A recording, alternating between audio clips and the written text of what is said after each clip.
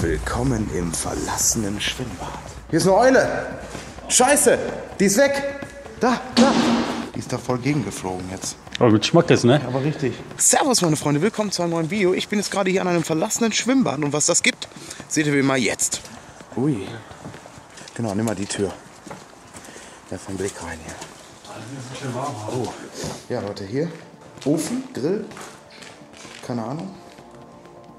Aber auch schon schön demoliert. Hier hat sich einer die Steinchen abgemacht, kann man gut sehen.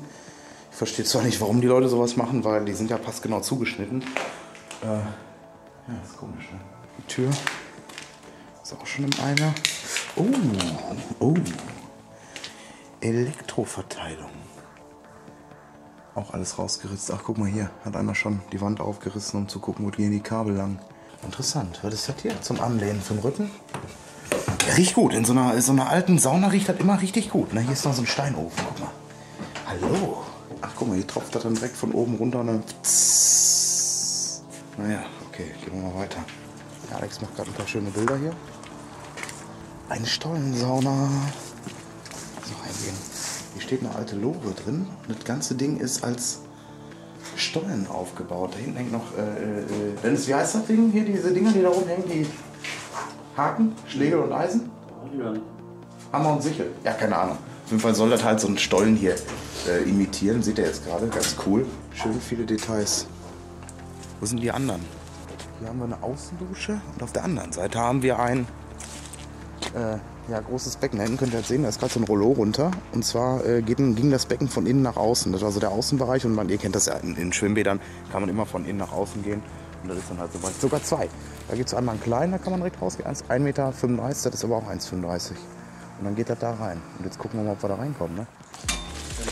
Weißt du, wie lange das Ding schon leer ist? Seit 2013. Echt? So schnell wachsen hier die Bäume?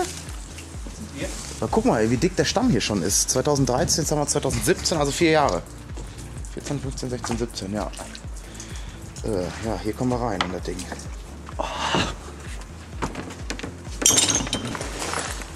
Spektakulär, ne? Hier könnt ihr noch mal sehen, also hier ging man dann in den Außenbereich rein. Da waren zwei Außenbereiche. Auch boah, ist das demoliert, ist Wahnsinn. Und wieder eine Sauna. Ja, hier ist die Uhr schon im Arsch. Hier ist wieder so ein Becken und das ist halt so eine. Ist relativ groß, muss ich echt sagen. Hier haben wir nochmal kleine Abkühlbecken. Nice, ey, mit Licht von unten drin. Hier lief das Wasser ab. Wahrscheinlich war das bis kurz vor Kante gefüllt hier. Und dann hat man hier sich abgekühlt von der Sauna. Ich glaube, das ist auch ein kompletter Saunabereich hier. Ich bin mir noch gar nicht sicher. Ich gehe mal wieder raus. Und schon wieder eine Sauna oder was? Wie viele Saunen haben die denn hier? Aber das ist wieder eine kleine. Ich kenne mich so mit Saunen nicht aus. Was für eine Sauna? Ja. Ich war da auch mal drin, da habe ich direkt einen Kreislaufzusammenbruch gekriegt. Kaputt drin, ne? Ja, es war. Da steht irgendwas. Ach, Eukalyptus, da ist noch so, sind, sind noch so Zusätze drin. Circa 70 Grad. Kneippbecken, Fußmassage. Da waren da wirklich Steine drin? Ich kenne mich damit nicht aus. Ein Baustrahler. Okay, ich würde sagen, upstairs. Guck mal da, Sonnenparadies, Turbobräuner. Leute, das ist ein Lost Place äh, vom Allergemeinsten hier, würde ich sagen. Das ist riesengroß. Aber ich sehe schon wieder Graffitis. Da hinten läuft gerade einer rum, der macht da auch gerade ein paar Fotos. Und jetzt haben wir hier oben so kleine Bungalows. Guck mal, da oben mit dem äh, Bastdach. Oh, das sieht gut aus. Hier hängt eine Lampe, da steht so ein Schrank. Das wird wahrscheinlich ein Massagebereich gewesen sein. Wahrscheinlich, muss ja so sein, weil guck mal, wenn du jetzt hier so reinkommst, hier hast du so einen Ma- Madame Mademoiselle Vorhang und hier hast du einen richtig coolen Schrank. Also ich könnte mir vorstellen, dass hier so eine Liege stand, ne, die Lampe dann an und dann ging hier so ein bisschen japanesische Trallermusik. Und dann wurde es hier durchgeknetet. Das ist richtig rund hier, ne? Schön, der, der Schrank sieht richtig geil aus. Der sieht richtig geil aus noch. Dennis? Ich habe gerade von, von vertraulicher Quelle erfahren, dass es hier ein Wellenbad gibt. Echt? Ohne Wasser. Ja, das ist riesengroß, das Ding hier, ne? Hier ist nochmal ein Whirlpool unten, der ist aber auch schon, da haben die auch schon wieder alles reingeschmissen. Was haben wir hier noch?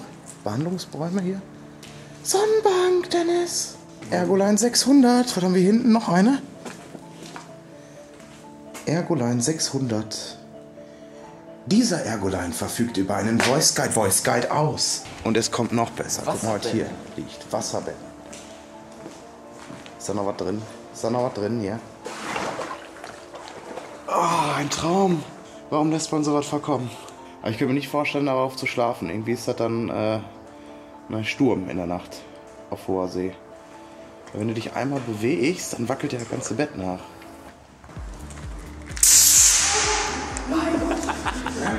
Super viel Zeug. Ich gehe jetzt wieder in die Richtung. So, hier geht eine Treppe nach unten. Da können wir gleich mal gucken. Ich wollte aber jetzt eben zu, zu Ende machen. Hier oben, gibt es nochmal so einen Monsterraum. Boah, die Fliesen sind richtig geil. Ne? Hier lagen, liegen. Okay. Das ist eine kleine Serviceklappe. Was kann die? Dennis! Hier ist eine Eule! Scheiße! Die ist weg!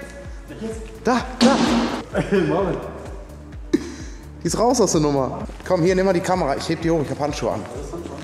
Ja, hier. Ich hab eine Eule gesehen, Marvin. Sag mal, Geht's der gut noch? Fuck. gib die mal hoch. Mal ein Foto machen von Eule. Das ist super. Schön meine Jacke rein. Soll die mitnehmen nach Hause machen? Ich hab Platz. Denk dran, ne, wenn die nicht packt. Das hat bestimmt weh, wenn die mit Schmack jetzt vorgepflastert ist. Die Eule ist da voll gegen den scheiß äh, Dingens Das geflogen. ist eine Eule. Lebt die noch oder nicht?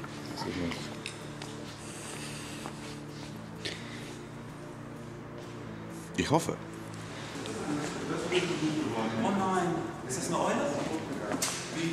Ja, die, die saß da, war mal fliegt die los gegen die Scheibe.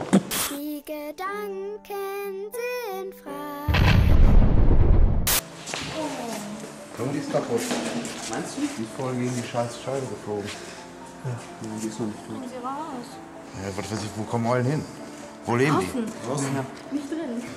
Die hatte gerade die Augen komplett auf. Jetzt sind sie aber zu. Ja, die hat die Schnauze voll jetzt. Die fühlt sich wohl hier, glaube ich, wenn du die hier so hast. Schläft so ein bisschen. Aber die sieht auch ein bisschen Ja, zerpflückt aus, ne? bisschen zerpflückt. Immer schön streicheln, so eine Eule. Was ist denn in der Mitte für ein Haken da? Der Schnabel? Schnabel. Das ist ein Vogel. Kann das sein, dass die schläft? Ja, gibt's sie ja trotzdem noch. Wenn die geflogen ist, dann schläft die nicht. Die ist jetzt Ja, nicht die so. war ein bisschen. Äh, ja, nee, du musst ja ein, noch die Hand hier, du hast das Ding. So, jetzt sitzt sie da. Guck mal, wie schön, ne? Die wiegt gar nichts. Nee, die wiegt nix. Die, ist ja auch, die wird schön warm. Du musst sie ab und zu mal ein bisschen streicheln, damit die auch noch weiß, dass du da bist. Die sieht süß aus, ne? Die ist warm. Die nehmen wir mit Die ist richtig warm, die ist schön. Richtig warm. Das ist unser Hedwig. Ich, ich glaube, ich glaube, die, die, die, was weiß ich was, die wollte, die hat sich erschrocken, weil ich da stand, dann wollte die rausfliegen und jetzt ist die wieder im Winterschlaf reingeknallt. Das Ding war riesengroß, als sie geflogen ist. Wo, wo hat die denn die Spannweite her? Reiß die mal auseinander. Ah, okay, das so. Ich habe letztes Mal gesehen, wenn die irgendwo gegenfliegen, dann kriegen, haben die erstmal ein Trauma. Ein. Ist das so? Ja, ist immer vorbei. Echt? Für die, hm, Also weißt du jetzt nicht, wer die ist. Müssen wir die mitnehmen nachher. Wenn die nachher immer noch so ist, dann nehmen wir die mit. Da habe ich eine Eule im Büro. Okay, geht weiter, meine Freunde. Ja, wir bringen die mal raus. Die Eule? Nein, die darf nicht raus. Die äh, schlafen nachts. Du musst sie drin lassen. Die dreht durch jetzt. Die ist jetzt richtig durch. Ordentlich festhalten und an den Beinen festhalten. Ja, erstmal musst du den Flügel setzen. Ich nehme euch das Kamera eben. Das ist kein, das ist kein Adler, Alter. Pass auf. Nein, das, ich weiß, das hat kein Adler. Also ich muss erstmal die Flügel. Mach die Flügel zusammen und pack sie dir so. Komm schnell. Komm, dann wartet eben hier. Wir bringen die eben hoch. Hat aber lange gedauert, dass die jetzt hier wieder wach wird, ne? Ja, sicher. Setzen wir die jetzt wieder da rein oder schmeißen wir die jetzt raus? Wo hast du denn die gefunden? Mann, die saß in irgendeine. Komm, warte mal. Ja, mal. Nein, wir bringen die wieder raus. Ich würde sagen, wir können die da in diese Mine da setzen. Weil die braucht halt Dunkelheit. Ne? Für die ist jetzt so eine Helligkeit, ist das scheiße. Die kriegt die auch gar nicht auf.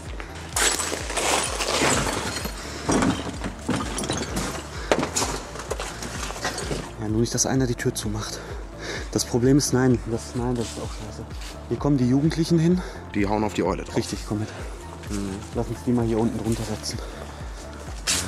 Nee, komm, ich kann da hochlaufen. Nee, komm, ich gehe da drunter, ja. Eben. Also hör auf jetzt zu meckern, Olle. Du bleibst jetzt schön hier sitzen. Ich bin noch nicht so weit. Sitzt sie? Ja, ja. Ja, das ist sitzen. Ja, aber die konnte, auf die mal sitzen. die konnte ja auf dem Flügel strecken. Ja, warte mal. Ne? Lass sie da ein bisschen sitzen, wenn wir auf dem Rückweg die noch sehen, dann gucken wir dann mal nach dem rechten. Ja, die ist doch gut da, da ist schön dunkel. Ja, Leute, eine kleine äh, Eule noch gerettet. Die ist da oben vorgeflogen. Vor der fetten Scheibe. Hat geknallt wie nix, ne? Ha? Ist die von oben nach unten dann gefallen? Aber richtig. Und dann lag die unten, war erstmal raus. So, jetzt machen wir weiter Lost Place, würde ich sagen.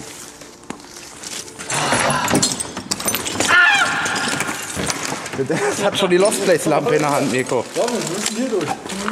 Ja, Leute, also wir sind wieder drin. Die Eule sitzt jetzt da draußen. Ich habe die jetzt in der Dunkelheit da gesetzt, weil ich glaube, die sind nur nachts aktiv. Ist ja eine Eule. Und äh, müssen wir auf dem Rückweg noch mal gucken, ob die dann auch sitzt oder nicht ob man dir helfen kann oder nicht. Wow, hier war ich noch nicht.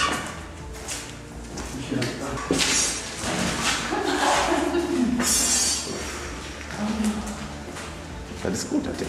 Was hat das denn hier mit Aussicht mit der Höhle? Kannst du von der Nee.